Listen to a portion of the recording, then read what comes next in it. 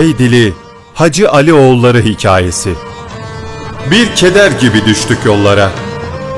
Turnalar gitti, biz gittik. Bitmedi peşimizdeki nal sesleri. Kuruyordu ırmaklar ve göller. Bir yangın gibi taşıyıp durduk kederi ve acıyı göğsümüzde. Zulüm bırakmadı peşimizi hiç. Biz gittik, o buldu izimizi. Konar göçer olduk yedi iklimde. Tanığımızdır dağlar taşlar. Ve işte devrildi yine kıl çadırlar. Göç başladı bir acıdan bin acıya.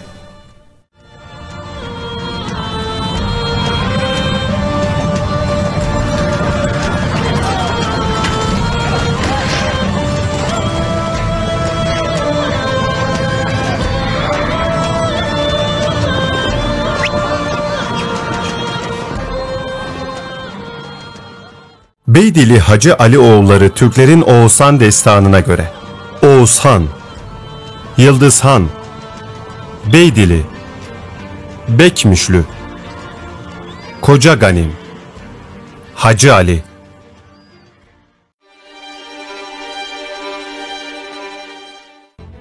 Harezmşah Devleti. Profesör Doktor Faruk Sümer Harezmşah Devleti'ni kuran Beydili boyunun Oğuzların hükümdar çıkaran beş boyundan biri olduğunu söylüyor. Harezmşahlar Devleti, Orta Asya'da Harezm bölgesinde 1077 yılında Anuş Tekin Harezmşah tarafından kurulan bir Türk devletidir.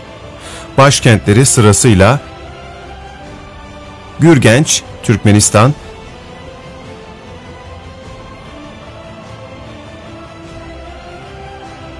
Semerkant, Özbekistan,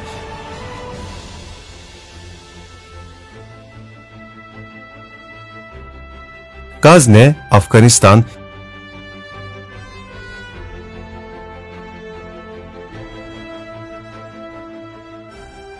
Tebriz, İran.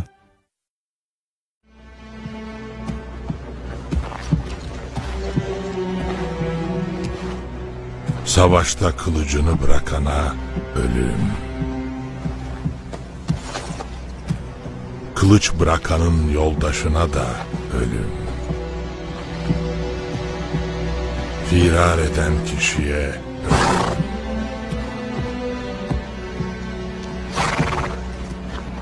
Kaçan kişinin yoldaşına da ölüm. Tüm Moğollar kanunlarıma uydu. Moğollar 1206 yılında Cengiz Han'ın önderliğinde tek bir ulus haline geldi. Orta Asya'da kurulan Moğol devleti etrafında bulunan ve siyasi birlikten yoksun küçük devletleri fethederek topraklarını hızlı bir şekilde genişletti. Moğol tehlikesine karşı İslam dünyasının ilk savunma hattı Harezmşah devletiydi. 1221 yılında Moğol hükümdarı Cengiz Han'la Sultan Alaaddin Muhammed Harezmşahlar hükümdarları arasında yaşanan elçi krizi nedeniyle bir savaş başladı ve bugün İran sınırlarında bulunan Nişabur şehri Moğollar tarafından kuşatıldı. Bu kuşatma sonucunda 1.7 milyon kişi bir saatte öldürüldü ve Nişabur düştü.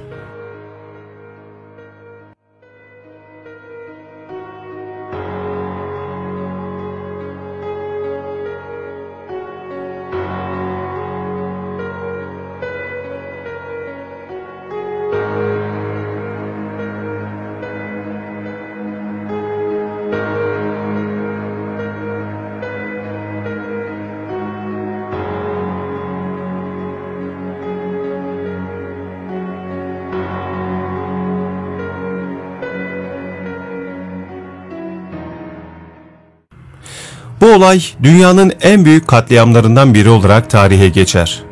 Bu tarihten sonra askeri anlamda İslam dünyasının ilk savunma hattı düşmüş ve Moğolların Anadolu ve Orta Doğu istilası başlamıştı.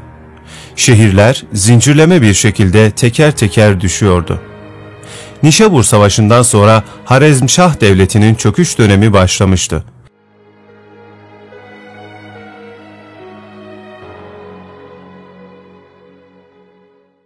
En son darbe de Türkiye Selçuklu Devleti ve Eyyubiler İttifakı'ndan Erzincan'da 1230 yılında yapılan Yassı Çemen Savaşı'nda gelmişti.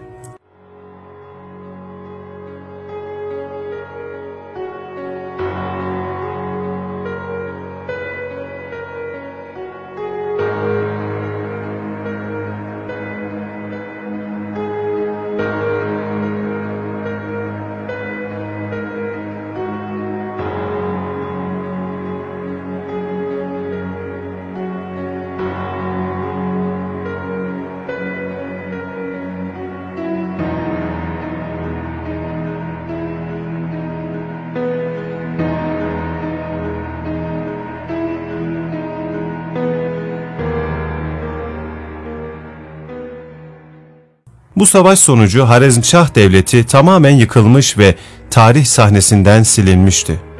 Bu iki savaş Harezmşah Devleti'nin çöküşüyle sonuçlanmış ve devletin birçok askerin ve Beydili'nin Moğolların vahşetinden kaçmak için Suriye ve Anadolu'ya sığınmasına neden olmuştu.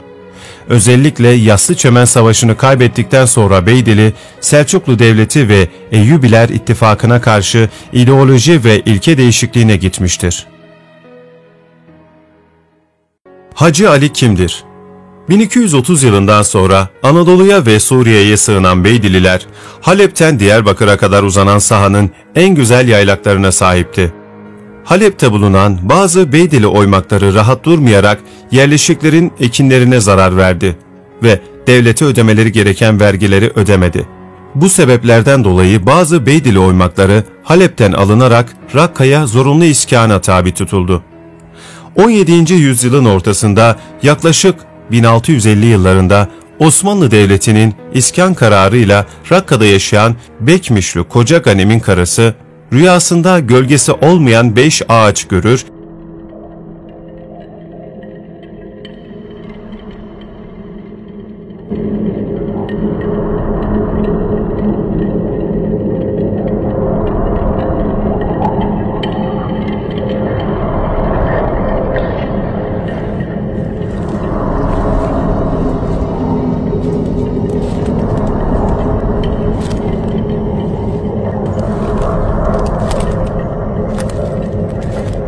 rüyayı beş oğlunun hayırsız olduğu yönünde yorumlar ve buna istinaden kocasından yeniden evlenmesini ister. Bu istek üzerine koca Ganim, Arap Jis aşiretinin şeyhinin kızıyla evlenir ve bu evlilik sonucu Ali dünyaya gelir.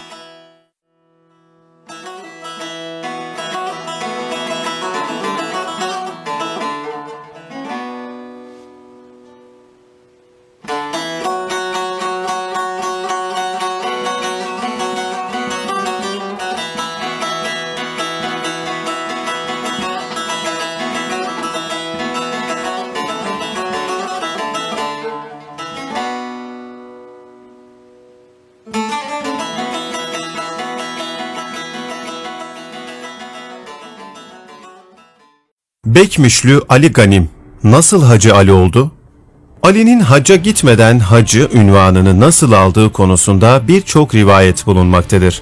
Ancak kaynağı olan tek rivayet Ali Rıza Yalman'ın Cenup'ta Türkmen Oymakları adlı eserinde şu şekilde zikredilmektedir.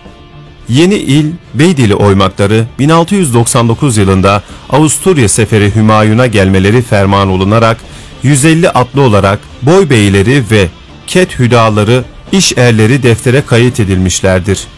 Oymak beyleri şunlardır. 1. Bekmüşlü Hacı Ali Ganim Bey 2. Firuz Bey, oğlu Şahin Bey 3. Seyif Han Bey 4. Şedidoğlu Topal Assaf Bey 5. Ebu Seyif oğlu Mirza İsmail Bey 6. Kara Şehlü Kızıl İdrisoğlu Musa Bey 7.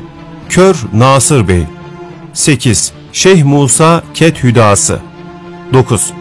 Yüz Hatem Ağaoğlu Hasan Bey 10. Şah İsmailoğlu Mehmet Bey 11. Bozkoyunlu Ahmet Ket Hüda 12. Bozkoyunlu Mürteza Ket Hüda 13. Kara Şehlü El-İs oğulları Kenan ve Kesal Bey 14. Kırgıl Yahya oğlu 15. Düelli 7 Bey Bu haberi duyan Ali'nin annesi İstanbul'da oğlumu mu idam edecekler diye endişe eder.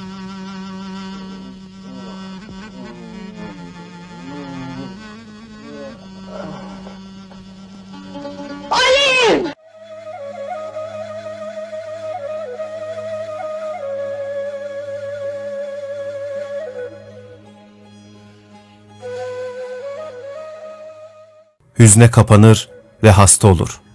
Hastalanan anne artık bu acıya dayanamaz ve yataklara düşer. Bunun üzerine ahali Ali'nin hacca gittiğini söylemek zorunda kalır ve o günden bugüne ismine hacı ünvanı eklenir. 1696'da ikinci kez Rakka'ya sürgün edilen Türkmenler, şimdiki Suriye çöllerinin sıcağına dayanamayıp Anadolu'ya geri kaçtılar. Rakka Beylerbeyi Ahmet Paşa, Türkmenlerle baş edemeyince görevinden alındı ve Bozok Çorum Sancak Beyliğine atandı. Rakka valiliğine başkomutan payesi verilen Anadolu müfettişi Gürcü kökenli Devşirme Yusuf Paşa tayin edildi. Yusuf Paşa büyük bir askeri birlikle yerlerini terk eden Türkmenleri Rakka'ya geri göndermek için harekete geçti. Kadıoğlu namıyla bilinen Yusuf Paşa, Kürtlerden Bektaş Bey'in oğlunu Türkmenlere gönderip Rakka'ya iskan giderlerse ne ala, gitmezlerse padişahtan gelen ferman gereği hepsinin kılıçtan geçirileceğini bildirdi. Rakka'ya iskan edilmeyi reddeden Beydililer, düzenli Osmanlı ordusunun üzerlerine geldiğini görünce isyan ettiler. İç çekişmelerle zayıf düşen Beydili aşireti Yusuf Paşa'ya yenildi. İsyanın elebaşları olduğu bildirilen 30 Türkmen beyi idam edildi ve yaklaşık 600 Beydili öldürüldü.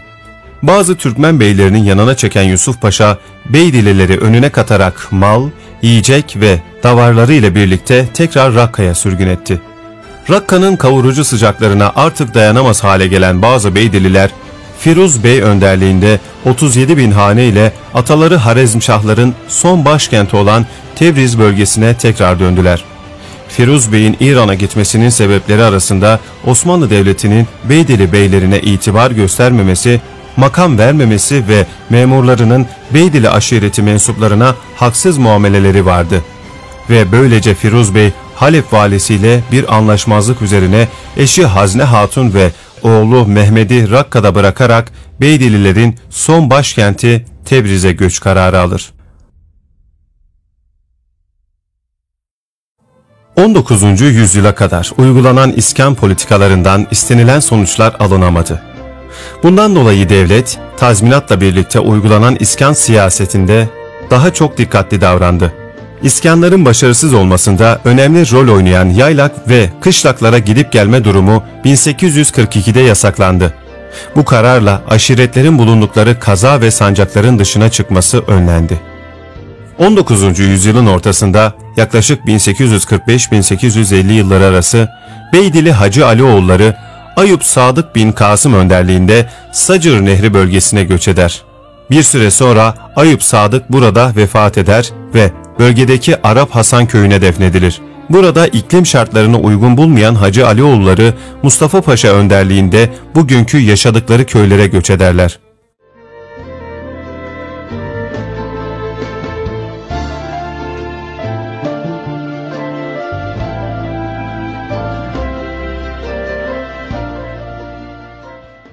1916 yılına gelindiğinde Osmanlı Devleti çöküş dönemine girmiş ve sahip olduğu topraklardan çekilmeye başlamış ve bölge 1916 Sykes-Picot anlaşmasıyla Fransa ve İngiltere arasında bölüşülmeye başlanmıştır.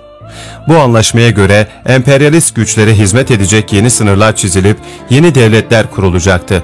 Buna göre Beydili Hacı Alioğulları'nın yaşadıkları köyler Kanlıkuy, Napka, Mirze Taşlı Yük, Belve, Kerpiçli, Beliz, Aktaş, Hava Yük, Halsa, Suriye sınırları içinde kalmıştı ve bin yıllık hikayenin sonuna gelinmişti.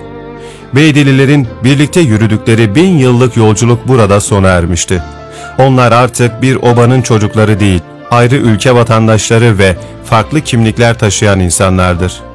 Askerlik görevlerini ayrı ordularda ifa edip farklı bayraklara selam durmaktadırlar ve her birinin yüreğinde ve gönlünde farklı farklı vatanların sevgisi büyümektedir.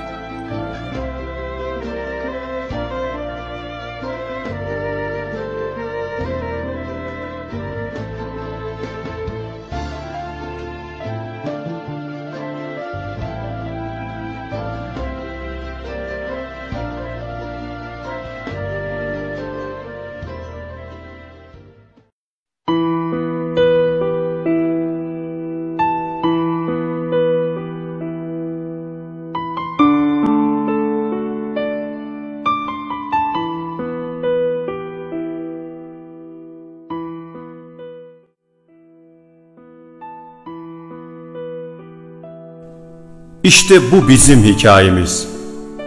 Zulme ve acıya direnişimizin hikayesi. At üstünde doğan, at üstünde yaşayan ve at üstünde ölen milletin hikayesi. Biz Beydiliyiz. Hacı Ali oğluyuz. Biz Yusuf'un çilesini çeken, Yusuf'un yolunda yürüyen, Şam'da köle olan, Mısır'a sultan olan Harezm Şahlı Seyfettin Kutuz'un torunlarıyız. Rakka çöllerini duvarsız, zindan bilen milletin torunlarıyız. Afrin'e zeytin dalını eken Namık Bey'in torunlarıyız. Biz uluları gibi aziz bir milletiz. Biz Türkmeniz. Biz Beydiliyiz. Biz Hacı Ali oğluyuz.